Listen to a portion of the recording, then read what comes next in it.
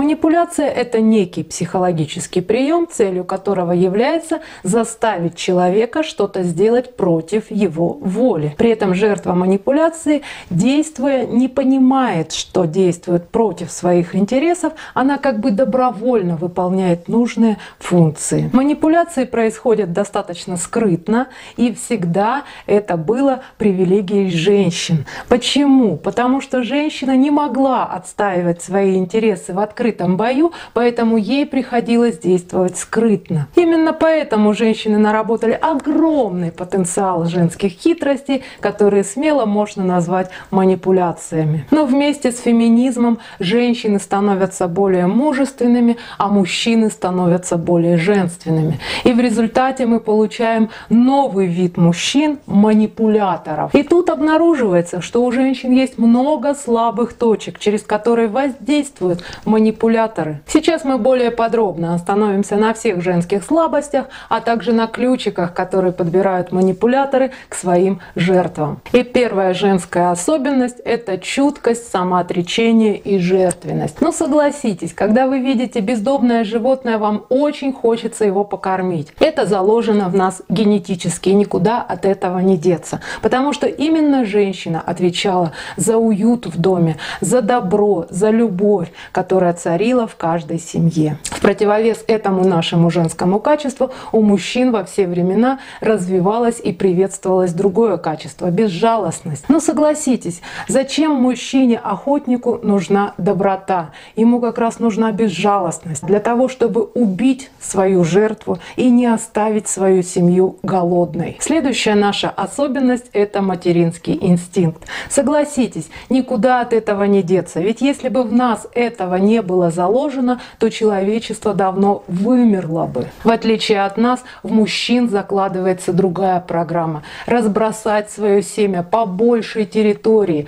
Опять-таки для того, чтобы человечество выжило. У мужчинах генетически не заложено потребности воспитывать свое потомство. Поэтому не нужно от них ожидать таких подвигов. А самые ушлые мужчины так вообще используют женский материнский инстинкт для того, чтобы стать сыночком для своей женщины. И как проявление этой особенности мы видим все больше альфонсов, присосавшихся к успешным женщинам. А даже более того, самые продвинутые манипуляторы действуют на женщин через их ребенка. То есть, понравившись ребенку, мужчина автоматически нравится и самой женщине. И через ребенка можно всегда надавить на женщину. А ребенок более беззащитен в играх мужчины и женщины, и поэтому часто становится жертвой. Поэтому, если у вас есть ребенок, настоятельно рекомендую не знакомить его с мужчиной, пока вы не убедитесь сами, что этот мужчина то, что надо. Следующая наша женская особенность — это стыдливость. Во все времена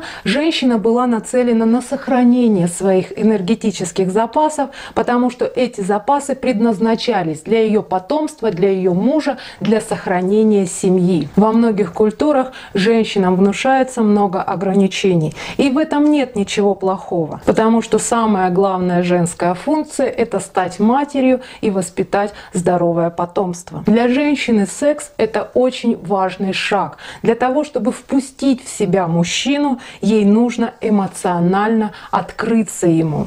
Дорогие мои, ставить на это не нужно. Есть много вещей, на которые мы можем поставить, которыми мы можем манипулировать, но только не этим. Следующая наша женская особенность – это внутреннее желание выйти замуж. И это тоже обусловлено генетически, исторически и так далее. Дело в том, что в древние времена, когда женщины не могли заниматься охотой, им очень нужно было жить рядом с мужчиной, который добывал бы им еду. Даже более того, женщина без мужчины в древние времена погибала, и погибало ее потомство. Именно поэтому любой женщине хочется замуж, для того, чтобы быть защищенной. А мужчина всегда был лишен этого страха, он был охотником и мог свою дичь съесть или с этой женщиной, или с другой. То есть он без женщины не погибал. Именно женщина должна была удержать рядом с собой этого охотника, для того, чтобы выжить и чтобы выжила ее потомства. Так вот, мужчина-манипулятор очень четко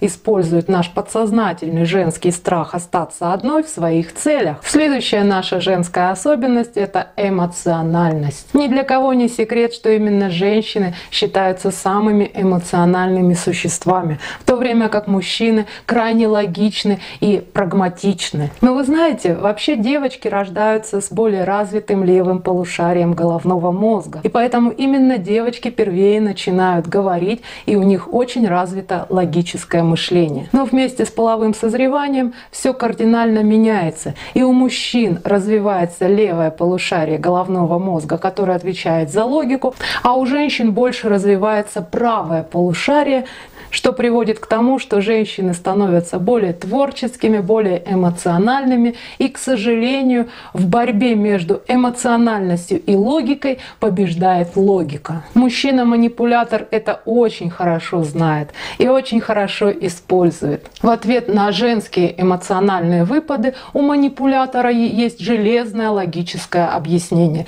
И даже если он тысячу раз не прав, он все равно докажет свою правоту, и женщина будет чувствовать себя виноватой. Еще одна наша женская особенность – это наша женская говорливость. И здесь зарыто несколько ловушек. Дело в том, что для женщины это своего рода релаксация. Выговориться с кем-то, рассказать о своих проблемах, и проблемы как бы отступают. Но имейте в виду, когда вы раскрываетесь, выговариваетесь перед манипулятором, вы, во-первых, раскрываетесь перед ним, Раскрываете все свои недостатки, все свои страхи, особенности. И в своем сознании вы становитесь как бы ближе ему. Вы сближаетесь только со своей стороны. А манипулятор, получая от вас информацию, использует в дальнейшем эту информацию в своих целях. В противовес нашей говорливости у мужчин, как у охотников, развивается молчаливость, выдержка, что хорошо используют манипуляторы. Следующая женская особенность – это занятие заниженная самооценка. Согласитесь, в некоторых культурах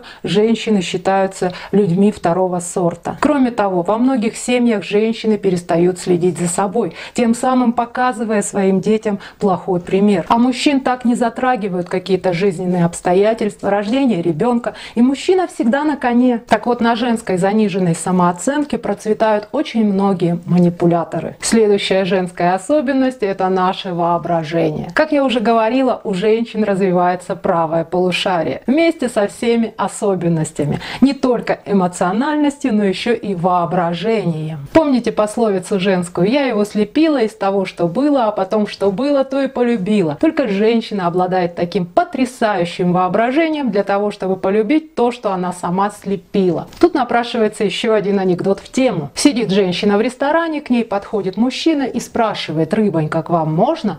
На что она отвечает «Рыбонька, Рыбонька значит рыба, рыба значит щука, щука значит кусаюсь, кусаюсь значит собака, собака значит сука, сука значит блядь. Товарищи, он меня блядью обозвал. Ох уж эта пресловутая женская логика. И именно на ней процветают прагматичные манипуляторы. Они-то лишены этого воображения, но они умеют его очень хорошо использовать. Следующий момент, который я хотела бы поднять, особенно опасен. Дело в том, что когда женщина общается с мужчиной, особенно если она эмоционально эмоционально вовлекается в этот процесс, она получает в свою кровь огромное количество природного наркотика. А это наши гормоны. И это очень серьезно, потому что это количество гормонов, которое поступает в нашу кровь, можно сравнить с сильнейшими наркотиками, существующими в мире. Вы представляете, какую ломку получает женщина, если отношения с мужчиной вдруг прерываются? Какие страдания она испытывает? К сожалению, мужчины не так подвержены этому, потому что они вовлекаются в процесс общения немножечко медленнее. В то время, когда женщина уже вся под наркозом,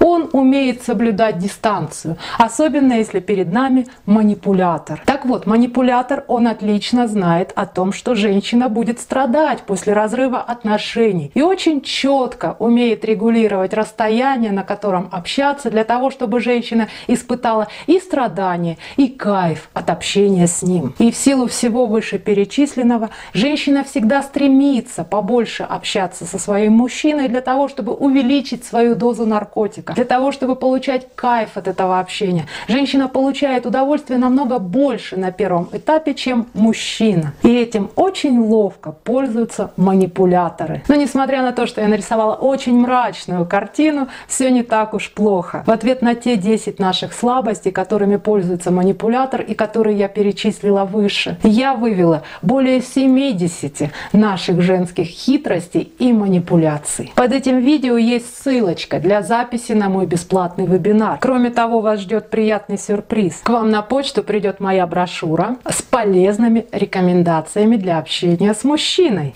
Огромная благодарность, если вы поставите лайк под этим видео. Вам все равно, а мне приятно. А если оставите комментарий, так я вообще буду вам очень сильно благодарна. И плюсик вам в карму. С вами была Светлана Филатова. Оставайтесь на связи.